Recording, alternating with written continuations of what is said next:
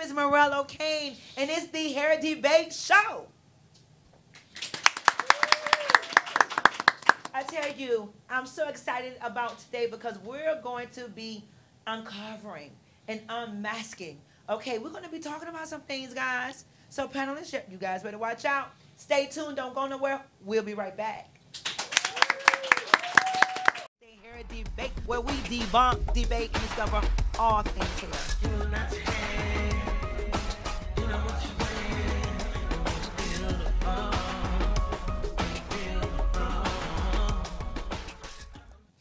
And welcome back. My name is Morale Ocain, the host of the Hair Debate and the brand master behind Morale All Things Hair Media. But I am here with my special, special guest. Uh, Uh, my panelist. what kind of special she mean? My panelist. And I am here with Amanda Nicholson. Yes, she is a marriage and family therapist. And right next to her is Miss Donna Oriwo. Ori. Close. Oriola. Oh, and, and we would take that. Okay, she is a doctorate in human sexuality in the oh everlasting just fashionista it is. I tell you, D Hardy of Elevation Hair Studio. Okay, and we are going to be back because we are uncovering, guys. We're going to talk about some things. We're going to unmask some people. Okay, you're going to take off that mask, and we'll be right back. Stay tuned. For more shows like this, be sure to hit that subscribe button and the notification bell to be notified every time the Hair Debate has a new episode. Now let's get back to the show. Okay, so guys, we've talked about this the disorder, this dysphoria. Okay, we've discussed that. Okay, and so now people that have battled that, they are now conformed to walking around with this mask. Okay, they're walking around with this mask, and I think it's time that we, you know, kind of help them uncover it. Okay. Okay, so what, what suggestions do you have? I'm gonna go right to Dr. Donna. So, Dr. Donna, you know, when it pertains to Call me special. the, uh, yeah. we just need some special people to help our special ones out there because I. so now, okay, how are masks created or formed? they're created and formed over time. Okay. So no one is born into being with a mask. We are taught to constantly cover up little things at first and then it becomes bigger things. So really it, be, it I'd like to think that it comes from being taught shame. So we are taught shame about certain pieces of ourselves. We're taught that certain things about us are unacceptable. So we learn to cover those things up. So that shame and you know that covering first is probably more of a emotional and psychological covering before Okay. it becomes a physical covering. Okay, okay. Well, then you may have some experience in this area. So, so now, I, now, eh, when I say when I say experience, I'm just saying because you you consult your clients and you guys get very personable. And we do. okay? I, I- and I'm just saying, you guys get very personable. And so now, what is your take on why, uh, you know, or I don't. I don't know. You may have any experiences or whatnot of how um, it's created a form. How a mask is formed? Yes. Much to Dr. Oreo's point, Oreo Much to Dr. Oreo Woe's point, um, I think it's a taught behavior. Um, going back to our earlier segments, topics, topics and discussions, I still firmly stand by um, it being behavioral and it being something that's taught with shame. If you guys remember back, um, I I can recall a time in my life. Hi, mom. Uh, Talk about it. Talk about um, it. Talk about it. where we as a people would say, "What happens in my house The, uh, Stays in my house. I'm here to Come tell on, you. choir. so with that, you know, we're taught to not disclose, not to discuss, not to uh, uh, Yes. admit certain things that may have transpired and conceal those things. So Absolutely. through consultations, through communications with clients, they often have those same patterns and behaviors, and now they've conformed to wearing whatever mask it is they're wearing, being extensions, um, lashes, makeup, uh, nails, even the way in which you wear your hair. Okay. I gotta have my left eye covered. I gotta have my right eye covered. Sideburn. I mean, there are so many variables associated with it. solely again it is a result of a behavior that was taught to us. you know, and let's touch that side, you know, swipe with the hair swoop. Mm-hmm. There are clients, you know, there are individuals. It's like it throws them off. They, it- you, you. I mean, it's like they cannot. I can't sleep. I can't. Oh no, they feel off balance. Why is mm-hmm. that? Why- Shame. Why? It's the shame that Dr. Or it's the shame that the doctor spoke of. that very shame. Um, and social acceptance. And you guys know I stand firm with that as well. I always go back to how society has conformed us because given our age variables, right? Over time, much to your point, doctor, over time. So now society is saying, hey, you have a big forehead. Bangs. So now I need a mask Oh, I must. to I'm. I, cover those. I'm. Well, I'm. Try, you, I'm trying to walk out amongst see you. You. You helping me with that. Uh-huh. I, I Come out. Say, but I, I wanted to beat them down. Oh, we fought on Mhm. it, I- And we did. The struggle was real. and we did. the struggle was real. And just looking at how long have you been the way? when, when you say how long, I mean, what you talking about my age? Mm. Well, we know 1600 BC was the date of birth, but Oh. we weren't going to go that far. What I'm, you know, just knowing that Let me just even speaking prior to you said 13 years that you hadn't revealed yourself to your loved ones. So j- let's just look over the course of those 13 years. There was something transpiring internally that caused you to mask yourself. And now you and I collectively are working on your demasking as well. And I appreciate the face. Well, I, you know, and and I will not say that I am without one because Mm-hmm. again, I that was my comfort zone. But I think we all have masks, right? Okay. So, and it do, it doesn't always have to be hair, makeup, Mm-hmm. lashes. Like our religions calls us to have masks. Okay. Like me, my dad's a preacher, so there are certain ways I have to act in public Mm-hmm. spaces. My family is well known around the area, so I can't be out here acting crazy all the time. So I'm a representation of something Absolutely. else outside of my home, outside of my family. Now, if you catch me at the house, might be a whole different person. But we all Behind mask, you know, we all wear masks in different identities, and I think that the hair helps, Mm-hmm. the lashes help. So it's just like we got our hair and makeup done this morning. I felt like Beyonce, right? oh, well, you can't tell That's me I don't look like I I feel like You know, but you can't. you know. yeah. and sometimes our masks help us build our confidence, but the thing is to have our confidence without our mask on. Mm-hmm. And I feel like that's something we all need to work on. Well, I tell you what, we're going to dig right into that a little bit deeper. Okay, when we come back, definitely stay tuned. Yes. Yes, and welcome back. Okay, so now we're gonna go ahead and dig a little deeper because Dr. Donna, um, you know, you being a therapist, both of you, okay, mm-hmm, but mm-hmm. so now I know you guys have service individuals that, okay, you like, okay, she's wearing a mask. a whole mask. Mm-hmm. People come into the office and you know they're wearing these full on outfits.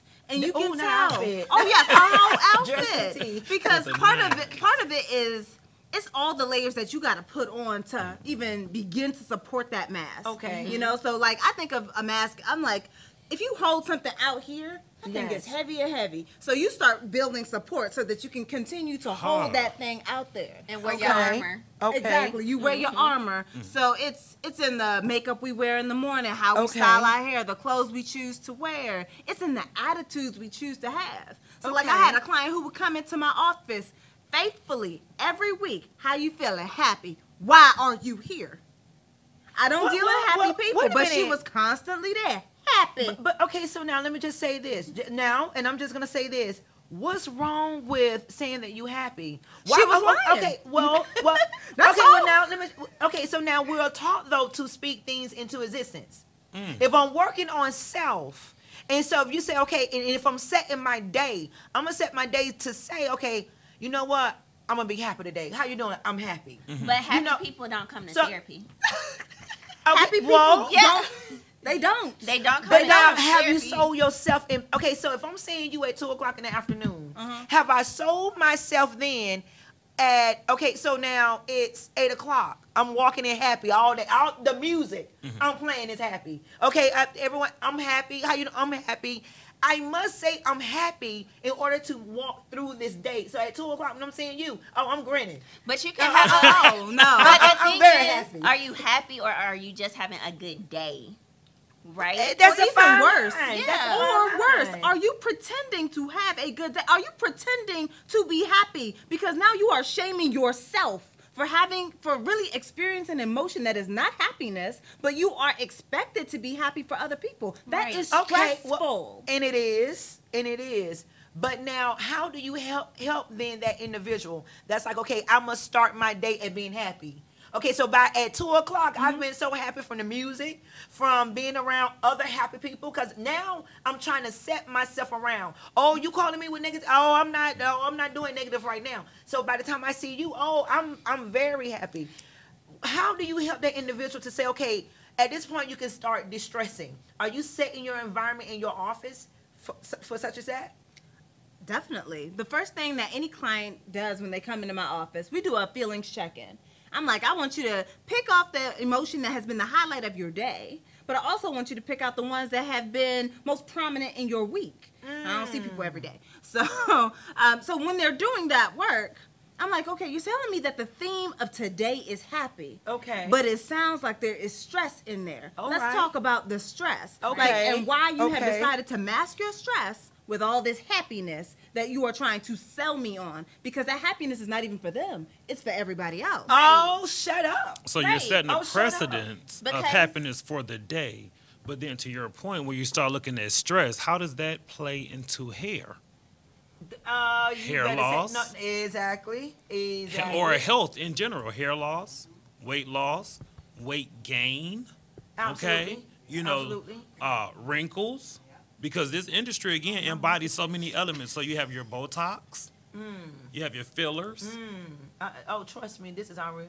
uh, Black and, and, and other elements to assist with embodying this said uh, uh, day setter, this Okay. said precedence that I have to exhibit. So in this, it's an outward emotion, but the internal component is still a struggle. Absolutely. Would it not and be? that shows up in relationships Right. I can only Because you act like you're happy, right? There are so many people who act like they are happy in their relationships because they check everything off their list, oh. right? so they act like they're happy. Mm, drive Got money. drive that. Mm. But the thing is, you're wearing a mask in your relationship, acting like you're happy. You're satisfied in your sex life, and the sex whack. But The- Hey, not yeah. only the, se- the sex whack the relationship whack the communications whack oh, whack, it's wiggity, wiggity, whack. okay, And okay. you wear a mask. Saying you're happy, you tell mm-hmm. everybody you're happy, and they say, "Oh, how y'all doing? We fine." We good. But are Okay. y'all? Well, I tell you what. Meanwhile, you've been engaged now for the last eight years. Oh, no ah, dates. Ah, in sight. Ah, I'm just saying. Uh, well, okay. I'm just Well- saying. well, let me like, just say this. Like that shows you're happy. You real happy with your eight year engagement, not moving forward because you know something is wrong. With your you are happy wearing self. that Okay, mask so and you you, are committed to it. And I'm saying if you start your relationship off lying with that mask, you have a responsibility to keep that same energy, sis. Oh, so okay. Well, now let me ask you this. So literally, you can tell in the bedroom. Okay, up under those mm-hmm. sheets. Oh, yeah. Up Yeah. under Because- those sheets. In the middle. Oh, In the middle. oh, yeah. yes. Ooh, yes. You Oh, know when I somebody love it. not your Yes. so it's a whole nother job, is what you're saying. yeah. A whole other job. You are an actress, Hashtag award winning. representatives. Hashtag so that. I tell you what, and, and, and let me just say this, because all the fakeness in that arena, you're gonna see it in your hair, child. That hair will fall off. You wondering, and then you're trying to find the closest grease where you. Let me. Okay, I'm not gonna go. Oh. Uh, so, so what I am gonna We're the say closest is, stylist. So what I will say this. We need to take a break because I tell you what. Oh, I'm going up under your sheets. Stay tuned. and welcome back. My name is Morale Ocain, and I am here with a special guest, Jean Turner. Okay, she is a self management and have a brand, and I love the brand Fit um, Fox C50 and beyond. You got it. oh, how fabulous got is that? How fabulous is that? I'm just saying. And let me just say, you fabulous with it. thank you. I'm just absolutely beautiful. Okay, so now this whole mask thing. eh, Let me just say, when I met you, um, first in in me having to walk out of this whole disorder of this euphoria. Okay, but when I saw you and you were just bad with it, and you rock how you rocking it, everybody's not able to rock it like that, and just the confidence or whatnot. How are you able to rock that out without conforming to a mask? Okay. Well, first of all, thank you for having me. Oh yes, You guys are hyped, and I just love it. but anyway, to answer your question, Yes. so my walking through this process, what you see here now was not always so, not even a year ago. okay. Okay.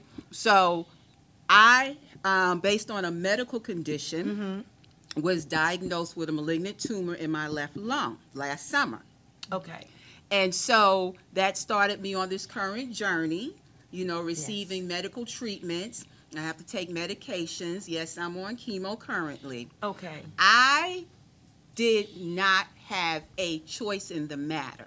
Okay. And so earlier, when I want to say, I don't know if it was the good doctor, one of you that um, was like, well, why do people mask? I know we talked about some things. I, I think self esteem has to do with it. But for me, it was secrecy. Okay. All right. All right. Number one, right. I'm a very private person. Okay. Number two, based on my brands. Okay. Okay. Because I'm a registered nurse, I'm a certified health coach. Okay. And yes, don't let the look fool you. I'm still a soldier in the United States Army. Okay. So we have, you know, Don't be mistaken. and I did not want people to know what was going on with me because you Okay. can't be a nurse and a soldier and practice and preach self care and prevention and live that lifestyle and walk it out. And then suddenly, Okay. you come up with a diagnosis. And with that, because I had an image to keep. Okay. Okay. Yes. Because I'm a private person. Yes. All right. Didn't want nobody else violating my HIPAA. Yeah, Okay. uh, uh, right. and so I felt initially that I wanted to keep it under wraps. Okay. So it was a secrecy thing with me initially. Yes. Now, with that said, I wasn't really big into wigs and, to, and weaves other than during the winter months having it as a protective style Okay. Okay. Yes. because I was natural.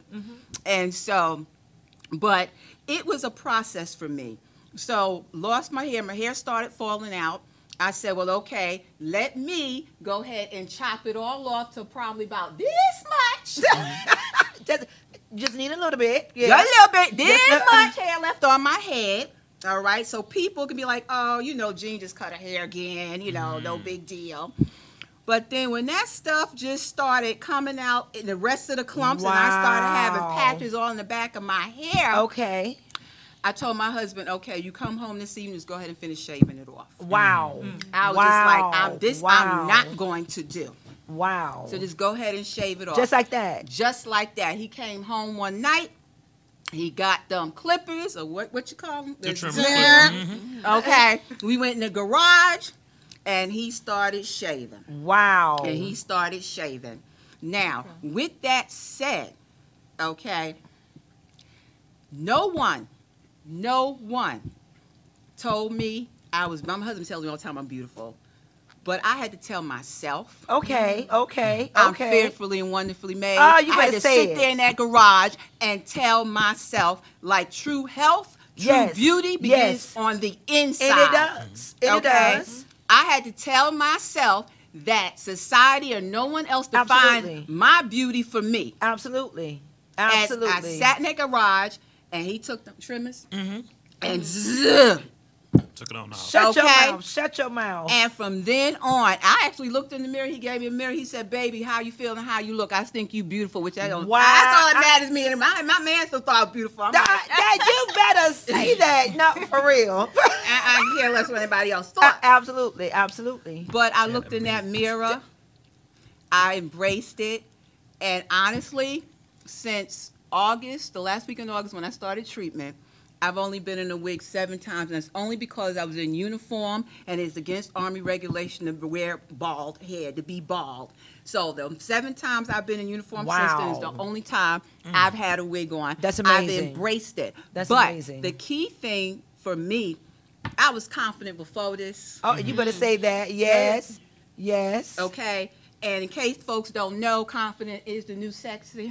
Ah! I wear it well. And if you don't believe me, if you've seen the movie on Netflix with Sanaa Lathan, Nappily Ever After, Yes, that's real. she have she was confident with the long weave, right? Absolutely. But then when she woke up that morning, realized what she had did and Uh, shaved that that head, and then she tried to cover it up. Yes. And then you know she was wondering why the men weren't looking at her like they were at the beginning. with It wasn't because she was bald. It was because she She lacked her confidence. I, I'm so glad you. You know what? and I'm done. I'm so glad. Oh, oh no, you're not. Somebody really come on.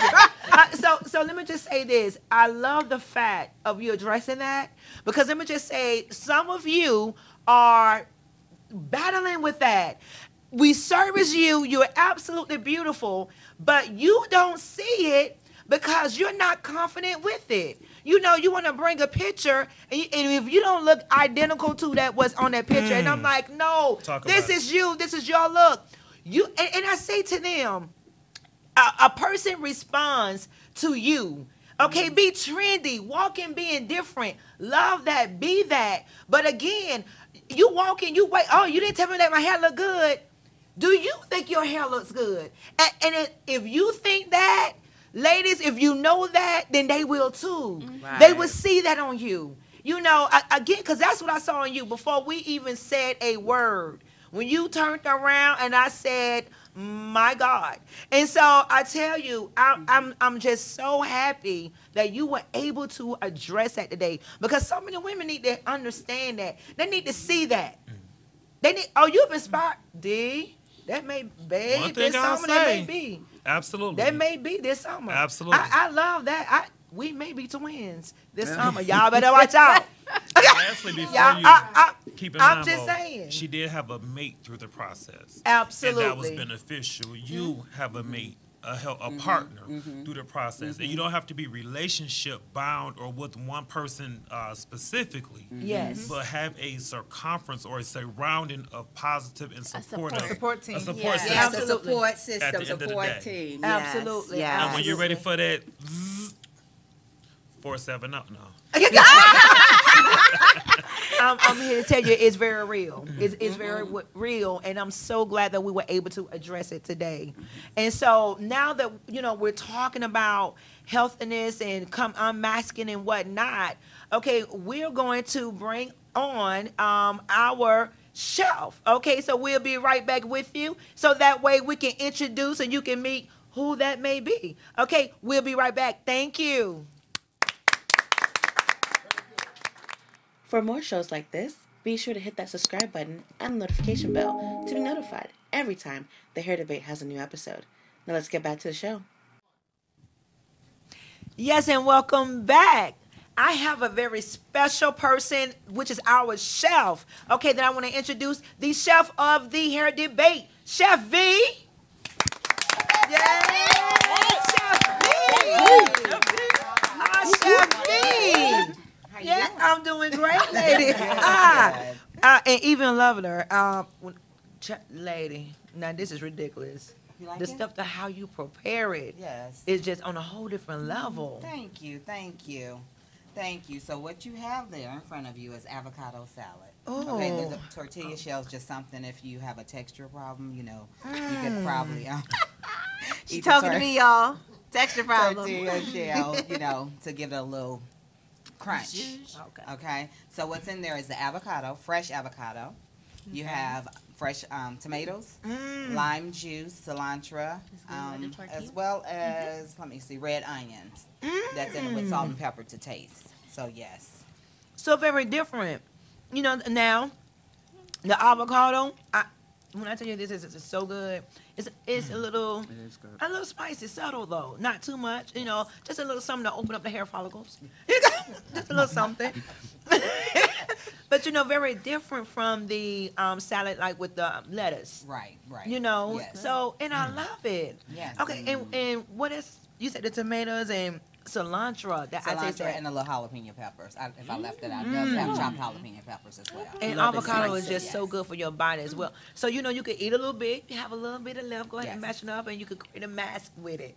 You know we're talking about masks Yes. and whatnot. You know, put a little, create a little hair mask you mask. should wear. A little hair mask. Yes, And so. I tell you, thank you so much. This is absolutely delicious. Thank you. And if you guys want to follow up with the recipe, go to Morale All Things Hair dot media, okay, to check out Chef V's recipes and get more information, as well as to get my book, The Seven Love Languages of Hair, because we talk about a lot of different things in in that as well when it pertains to ingredients and whatnot. So.